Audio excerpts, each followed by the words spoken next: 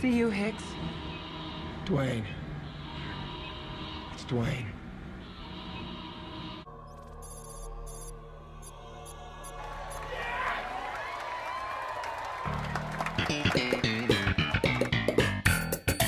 Don't you forget about me.